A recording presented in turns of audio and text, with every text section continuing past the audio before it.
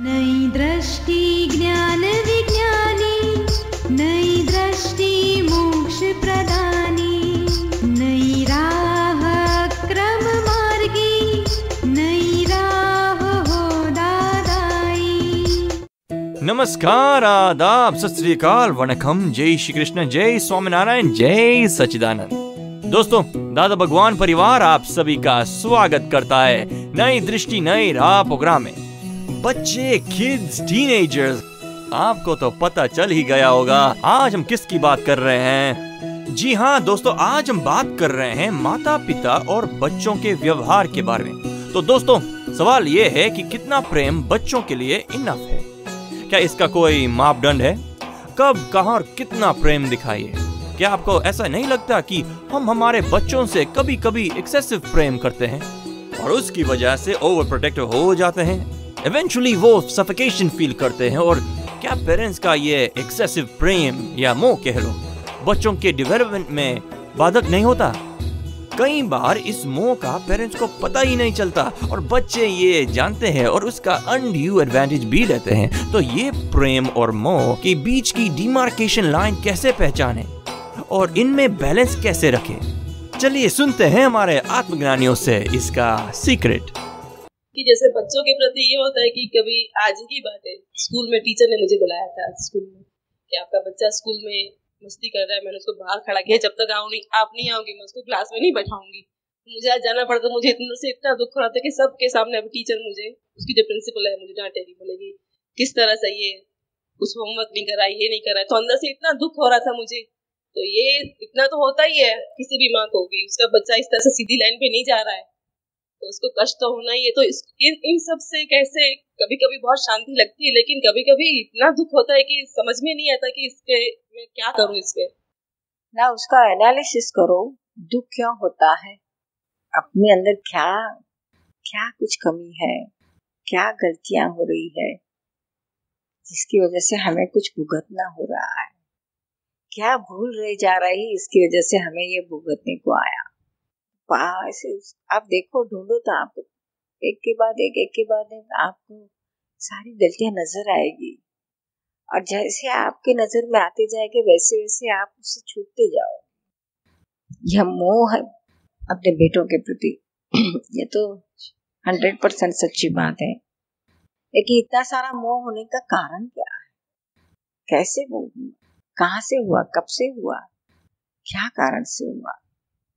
ये मोह का स्वरूप क्या है? ये सारी चीज़ें को उखेड़ के उखेड़ के देखते जाओ तो सब दिखेगा आपको। और यह सब दुख होता है या द्वेष होता है या राग होता है, ये सारी चीज़ें, ये मोह क्या परिणाम है? मूल में तो मोह है तो ये मोह को ही पहचानो, उसके स्वरूप को पहचानो। उसको आत्म स्वरूप देखो। बेटा है वो रिलेटिव में रियल में नहीं है। और यह तो मेरा हिसाब है उसके साथ का पूर्व से जो लेकर आए हैं उसे पूरा करना है फ़र्ज़ अदा करना है। समझ में जी। आप सुन रहे हैं नई दृष्टि नई राह। आज हम बात कर रहे हैं माता पिता और बच्चों के बारे में।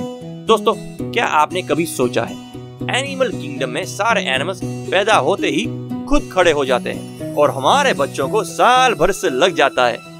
एनिमल किंगडम्स के बच्चे थोड़े से समय में अपना दाना, पानी खुद ढूंढ लेते हैं और हमारे बच्चों को इंडिपेंडेंट होने में 18 20 इयर्स लग जाते हैं। इतने समय के बाद पेरेंट्स और बच्चों का एक दूसरे के प्रति व्यवहार टेक इट ग्रांटेड सा हो जाता है। कई कई बार इन रिश्तों में तो दोस्तों, हमें पता ही नहीं चलता कि हम कहाँ गलत हुए। बच्चे या पेरेंट्स किसी को भी दुख देने की इच्छा तो नहीं है तो क्या कारण है? चलिए सुनते हैं अपने बिलविड आत्मज्ञानी से। निरुमा ये किस प्रकार का मोह है कि बच्चे सामने बोलते हैं तो याद क्यों नहीं रहता?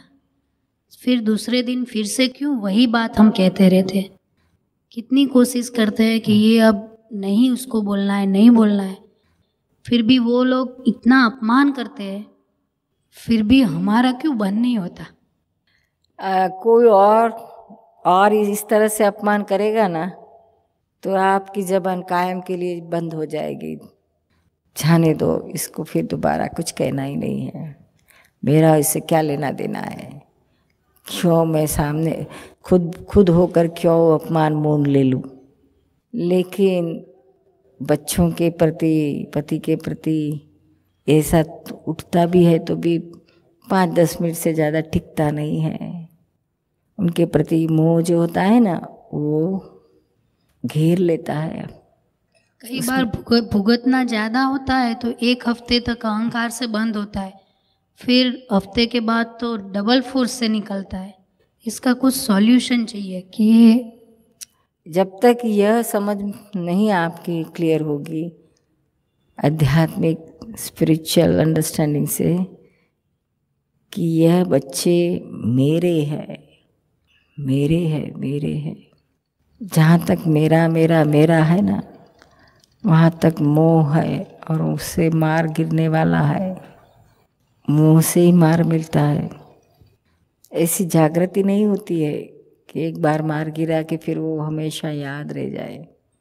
मोह फिर से उसको भुला देता है अजागृति में डाल देता है। जो जागृत रहता है ना, उसको तो हाजिर हारे रहता है। कि ऐसा बोलने से क्या क्या नुकसान हमारा हुआ और बच्चों का हुआ? फिर दोबारा नहीं भूलेंगे पर ये तो भूल जाता है और मैं माँ हूँ और मुझे इसे संस्कार देना है। मुझे उसको कुछ बनाना है। आप सुन रहे हैं नई दृष्टि नई राह। ये हाजिर रखते हैं ना तो कई बार क्या होता है कि द्वेष हो जाता है। वो हाजिर भी रहे और द्वेष भी ना हो उसके प्रति। इसका कुछ सॉल्यूशन है?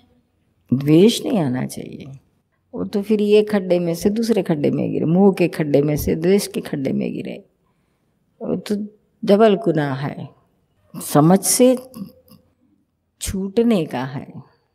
द्वेष से नहीं छूटने का है। समझदारी से। इसका स्वरूप क्या है? इसका परिणाम क्या है? बच्चे रियल में कौन है? मैं रियल में खुद कौन हूँ? और यह सब कहने से फ़ायदा क्या होता है? कितना फ़र्क होता है? कुछ फ़र्क नहीं होता है। यदि कुछ फ़र्क नहीं होता है तो फिर उस कहने से क्या मतलब? सब वेस्ट जाता है हमारा कहना हमारे बोल वेस्ट जाते हैं। इतना ही नहीं हम बच्चों की नज़र से गिर जाते हैं। जो हमारा बच्चों के मन दिल में, दिमाग में हमारे प्रति जो मान है, आदर है, वह टूट जाता है। छोटी छोटी बातों में उनको डांटते रहते हैं, उनको टोकते रहते हैं। सारा दिन टोक टोक करते हैं वहाँ ज़्यादा करके मदर ऐसा करती हैं। फादर ऐसा नहीं करता है। वो थोड़ा नोबल है, अंडरस्टैंडिंग है उसमें। इसमें नोबिलिटी नहीं है। समझदारी कम पड़ती है तो वो उसको टोक टोक करती है सारा दिन टोक टोक करती है। इससे बच्चा बिगड़ता है। तो वही बंद करना है। हाँ समझने से वो तो समझदारी से बंद करना चाहिए समझ के। जिस चीज़ जिस बच्चों को मैं अच्छे संस्कार देना चाहती हूँ वही मैं टोक टोक करके बच्चे को बिगाड़ती हूँ। उसके अहंकार को छेड़ती हूँ। ये आ दिखना चाहिए, खुलेआम दिखना चाहिए कि बच्चे बिगड़ रहे हैं। हमारे कहने से उन पर कोई असर नहीं होता है। समझ में आया ना? और इससे बच्चा माँ से भी नफरत करने लगता है। उसको प्रेम नहीं रहता है, वो तो उसको और कोई चारा नहीं है, कहाँ जाएगा? लेकिन मन में तो वो ग्रंथि बांधेगा। माँ नहीं बांधती, लेकिन बच्चे तो बांधते हैं। कब इनसे माँ से छूटू, कब? ओ अमेरिका में तो हम जाते हैं तो अरे, यहाँ भी हर कोई बच्चे सही सोचते हैं कि अभी कॉलेज में जाए तो हम आज़ाद पंखी हो जाएँगे। और दूर कहीं हमें एडमिशन मिला तो बहुत अच्छा। हॉस्टल में रहेंगे, आज़ाद पंछी की तरह रहेंगे। फिर माँ माता की पिता की टिक टिक बंद हो जाएगी। आप सुन रहे हैं नई दृष्टि नई राह। अभी क्या हो रहा है कि कई अभी समझ से थोड़ा थोड़ा काम लेते हैं तो हफ़्ते में एक आध बार उससे कुछ बोला जाता है तो भी बहुत खटकता है अंदर। उस उसके उतने प्रतिक्रमण हम करते हैं पर अभी बंद नहीं हुआ है पूरा। निकल तो जाता है कभी कभी यानी अभी अभी तक वह तो रहा है कि मैं माँ हूँ और मुझे उसको, मैं उसको सिखाना चाहती हूँ, मुझे उसको कुछ सिखाना है। वह ना समझ है और मैं बहुत समझती हूँ। लघुत्तम होकर बताओ समझाओ फ्रेंडली हो जाओ तो आपका भी अच्छा हो जाएगा और बच्चों का भी। जय सच्चिदानंद आप सुन रहे हैं नई दृष्टि, नई राह। दोस्तों, आज हम रोशनी डाल रहे हैं दुनिया के सबसे प्यारे रिश्ते पे। जी हाँ दोस्तों, आज हम बात कर रहे हैं माता पिता और बच्चे के बारे में। दोस्तों, बच्चों को अपने माँ बाप के साथ कैसा व्यवहार करना चाहिए वो तो हम कई बार सुनते हैं। क्या कभी माँ बाप को बच्चों के साथ कैसा रहना चाहिए वो सुना है, जाना है, समझा है? हमने कभी सोचा है, बच्चों के छोटे दिमाग पर माँ बाप की डिमांड्स का एंगर का डिसिप्लिन का क्या असर होता होगा? इस तो गलती कहाँ होती है? किससे होती है? बच्चों से या पेरेंट्स से? इन सारे सिचुएशन में उनको कैसे सपोर्ट करें? कैसी समझ दे कि उनका कैरेक्टर उभर के आए और वो स्ट्रॉन्ग ह्यूमन बींग्स बने? आए जानते हैं अपने प्यारे आत्मज्ञानी से। जय सचिदानंद बोलो। मेरी बेटी है पंद्रह साल की उसकी मेरी बहुत मतलब लड़ाई होती है। मतलब मुझे उस पर बहुत क्रोध आता है वो मुझे कुछ भी बोलती है तो मुझे बहुत गुस्सा आता है। मैं उसे प्यार से भी समझाती हूँ कई बार और वैसे भी लेकिन वो मेरी बात नहीं मानती है। तो मैं क्या करूँ? ये मेरे पूर्व जन्म के कारण है कि बात ऐसे नहीं मानती हाँ तो बात कहना बंद कर दो। बात मनाना भी बंद कर दो। अपेक्षा रखना ही बंद कर दो। फसला दो टाइम खिलाने का। वो बोले, मम्मी, मुझे ये चाहिए। तो हाँ बेटा हाँ। पापा को बताएँगे पापा सब आपको हेल्प करेंगे। कम से कम शब्द बोलो। अपेक्षा रखो मत और कोई भी, बेटा, ये नहीं कर, तू बड़ी हो गई, थोड़ा घर में काम बंटवारा कर। कुछ अपेक्षा मत रखो, बोलो भी मत उसको। उसको जो करना है करने दो। उसको शुद्धात्मा देखो, आज ज्ञान ले लो, बाद में शुद्धात्मा की दृष्टि मिलेगी। शुद्धात्मा देखो और शुद्धात्मा को प्रार्थना। जो शब्द मुँह से बोलने हैं एक भी शब्द बोलना बंद करके भाव से शुद्धात्मा को प्रार्थना करो। हे शुद्धात्मा भगवान आज तक इसको इस प्रकार मैंने गुस्सा किया दुख दिया इसके लिए मैं माफ़ी मांगती हूँ मुझे क्षमा करो। ये फ़ाइल का संभाव से निकाल करने की शक्ति दो। समझ में आया आपको? हाँ जी वैसे मैं बहुत कोशिश करती हूँ कि नहीं बोलूँ उससे फिर भी मैं निकल जाता है हाँ, नहीं ये निकल क्यों जाता है? आप देखते हो लड़की की जहाँ पे काम नहीं करती है घर में सामने बोलती है ये ध्यान नहीं रहती है कैसे भी खाती है कैसे भी चली जाती ओ शुद्धात्मा के सिवा प्रकृति है पराधीन है। उनको भी दुख है इतना भीतर में दुख है शांति नहीं इसके लिए अहंकार से कुछ ना कुछ बोल देती है दुख दे देती है। सो शांति मिले ऐसे करो। और शुद्धात्मा देखो और बोलो कि शुद्धात्मा भगवान बहन को शांति मिले सुख में रहे ऐसी कृपा करो प्रार्थना करते रहो। बहुत फ़र्क पड़ेगा। जय सचिदानंद आप सुन रहे हैं नई दृष्टि, नई राह, जो सुल जाता है ज़िंदगी की हर सवाल को। दोस्तों, आज हमने माता पिता और बच्चों की कई समस्याओं पर गौर किया।